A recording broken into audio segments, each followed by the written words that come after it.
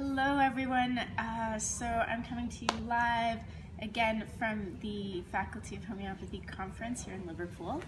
And right now I am here with John Morgan, who is founder, owner of Helios, uh, one of the greatest pharmacies that we like to use, that I like to use.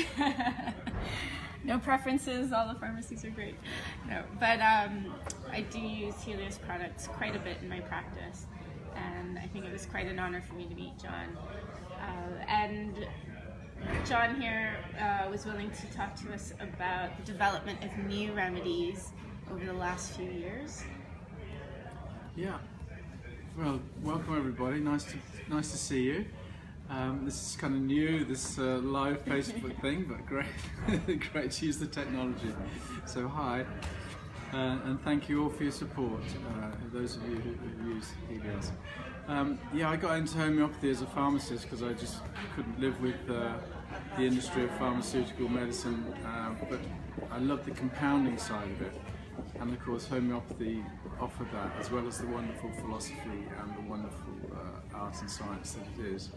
So making remedies uh, has been a great joy over the years and uh, Helios's mission was to start from scratch and make them all again from original materials, which is quite a challenge, but after 32 years we're still carrying that flag and that'll, that'll carry on for however long we'll go on for. Um, one of the main developments over the last uh, 30 years has been the development of new provings and new remedies and uh, has been really central to that thanks to the work particularly of Jeremy Sherr in the beginning who got us going um, with the, the, scorpion remedy which was one of the first provings and then all those that have followed. When I was when I was at college, I remember in the first days there was a guy trying to encourage people to do provings, and nobody knew what a proving was and was interested. So it was really in the UK anyway, Jeremy who started that impetus off, and uh, it's just been a great a great joy to to work and have the challenge of having to formulate new remedies like gases like neon and argon, for example to make hydrogen by adding zinc to acids and, and all that side of it, uh, which is uh, very satisfying as, a pharmacist. Uh, we provide a service where we will prepare, still today, uh, remedies and potentize them free for approving if that proving is going to be published. So that's also one of the ways that we felt we could give back to the development of homeopathy and also help the profession and students and, uh, and groups, student groups to experience provings because it's a fantastic way of really getting to know firsthand the, the power of a remedy as well as having your own treatment of course. But when you do a proving with a group and you see how it unifies you all and how deep it goes, it's, it's a really wonderful experience. So I encourage everybody, if you have a chance to do an organised proving, it's a great experience. So you mentioned that you wanted to make all the remedies fresh from scratch. Yeah. Um, were there remedies that were hard to source or we didn't understand? There are well? there are remedies that are hard to source. Um, the the bacterial remedies, the nosodes, are difficult to source um, because they need to do them new anyway, to do them fresh, because of the need for bacteriological equipment and and, uh, and labs to do that.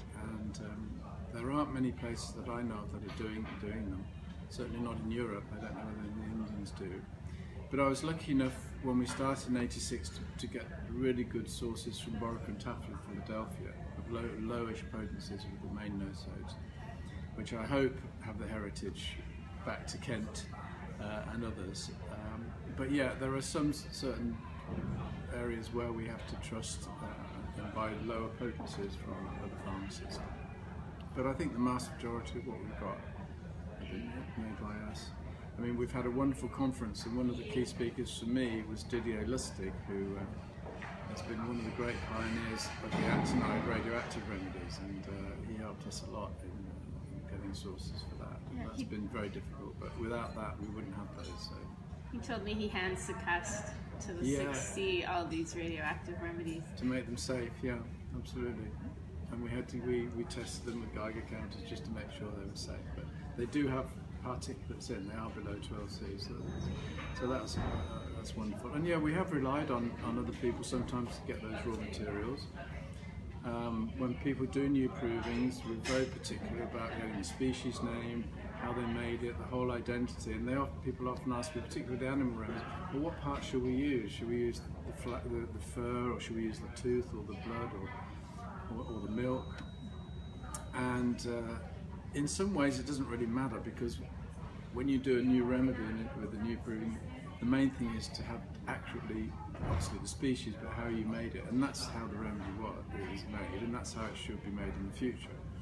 And a lot of our work in homeopathic pharmacy is just imitating what the original provings did, which are, some of them are well documented in the Materia Medicas of the past.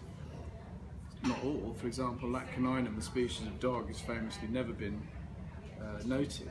So uh, I think uh, somebody did a survey of all the European pharmacies and found out we all use different species of dog. So how much that matters in the in the what you see is what you get aspect of a remedy is, uh, is unknown. But um, We have someone it's very Ontario. important to get that. It's very important to get that accuracy. We have someone in Ontario who's been proving different dog milks. Yeah. And getting different. I'm sure there'll be there'll be subtle differences, but um, and uh, and the other remedies that some people have a problem with, kind of philosophically, although they're they're, they're old remedies, they're the imponderables. Those are the radiation remedies, and they they go right back to um, Hahnemann with the magnetic pole, south and north. Where you expose lactose or water or alcohol mixture to the ray to the rays, How are they made? um, well, like I say, you, you just expose lactose or water or a mixture of water and alcohol to the ray for a certain period of time. So did Hahnemann go to the North Pole? Or like No, no, he had a magnet, he used a Oh, magnet. the poles of the magnets, not. Uh, and we uh, we redid in, in the pharmacy in the 90s, my staff did reprovings of Sol and Luna. And those are made, those were made by John Henry Clarke, the British homeopath. And that's, they're made by having a mirror and putting lactose on the mirror and then exposing that to the rays of the sun or the moon for six hours and stirring with a glass rod to, to keep uh, as much of the powder exposed as possible. And then that's triturated in the usual way. And um, they're not really big polycrestine remedies are really deep action. They're very significant and important remedies. Sol particularly, very good remedy for burns, very good remedy for even anxiety states. It's got a real good sunstroke um, picture and it's a cute picture. So. And then X-ray, for example, you expose lactose to X-ray for 10 minutes. Things like that. I love those, love those remedies. And I, I'm kind of just, we have a lot of general public who wants to know how how scientists and people with proper uh, medical and scientific training get interested in homeopathy. Yeah. Okay, yeah, that's a good question. Um, as I said, I, I love the pharmacy side, uh, but I didn't like the way drugs were suppressing people. And um, so I was searching in the beginning for some sort of philosophy to make sense of my own subjective experience of how my mind and my emotions and, and the deeper levels interact with my body. And um, I was particularly interested when I was learning about the antidepressants and the tranquilizers and the psychoactive drugs, how it was that you changed the biochemistry of the brain and, and there was a personality change. How that how that kind of worked um, in terms of in terms of consciousness and. Um, and that kind of interface made me start to think, well, is it, is it, are we totally governed by the biochemistry, by our physical systems, or is that a reflection of what we are on a deeper, more energetic level? So that was my first sort of question that I had. And then when I started reading the philosophy of homeopathy, which tells us that, that our symptoms and our life expression is, particularly on the, on the, the physical, emotional, mental level, is actually a, a reflection of our state within on a deeper level. And we know from homeopathy that disease starts on that level and then slowly descends into pathology. And, uh, and then the very positive message that life is always pushing us to fulfillment. It's pushing us to be free, to be uh, free of symptoms, to be free of disease on all levels. But of course, our inheritance and our lifestyles and a lot of other things get in the way. But nature is really uh, helping helping us through health and, and disease sometimes to, to, to realise our full potential and live life to the full. Uh, and so on a quality of life level, homeopathy fits in so well um, because it's not suppressing people's expression and with guidance from a good homeopath, all uh, that, that new, uh, those new layers that are shed can really bring a very good quality of life and raising consciousness in, in experience. So, Did you feel a contradiction between homeopathic principles and pharmacies studying in school? Well, I remember telling the story that the first job I had was in Bristol, which is a, a very well-known homeopathic town in the UK. And I worked in this really old Victorian apothecary pharmacy. It was a bit like Hogwarts, you know, Harry Potter kind of world. It was a great training. And he gave me this prescription one day. I couldn't read it. I didn't know what it was. It was for Bryonia 6. And, and, he showed me this. I said, what, what is this? He said, it's the homeopathic prescription. And he was very open and supportive of it. And uh, I said, what's that? And he explained about the bryonia plant, and he, then he told me that this is, gets diluted one in a hundred, one in hundred, you know, so many times. And I remember saying, oh, and that works? You know, because pharmacy is all about measuring the active ingredient and formulating it in a, in a formulation and it having an effect that you can measure physiologically, etc. So yeah, it did challenge that, but because I was already starting to question this interface, as I said before, between the soul and spirit and the human condition, looking at spiritual ideas, that um, I, I, remained open. So I wasn't closed to it. And then when it when it came round again, I came well, going to India. It was a big. Uh, a big uh, thing for me because in India they have so much complementary medicine, particularly homeopathy. So I was reading avidly for many, many years, all sorts of things, and finally homeopathy came.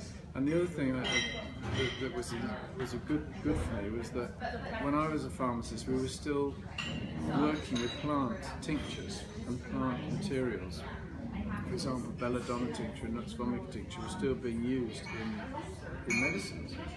And I remember that uh, we were given prescriptions for digitalis leaf tablets and colchicum tablets. Digitalis for heart problems and colchicum for gout. And, and then belladonna, nux vomica and other and squilla, those of alcoholic tinctures, similar to the other tinctures in homeopathy, were being used in pharmacy. So I studied what's called pharmacognosy, which is the study of plant drugs, and I loved that. Um, I did botany at A level, and, uh, and I studied a bit of herbalism as well. So I was already interested uh, in plants and botany, and it fitted really well. And uh, yeah, I, I, I, always had a practice as well. I trained as a homeopath and always had a part-time practice. So, so I've had coming to the end of my career, but I've had a wonderful career thanks to homeopathy, both as a homeopath and as a pharmacist. It's been wonderful. Thank you so much for giving us some time. I know it's the last day and it's a little crazy today, but um, yeah. really appreciate it. Thanks everyone. Hopefully Thank there'll be another one coming soon. Well, but uh, we'll talk to you soon.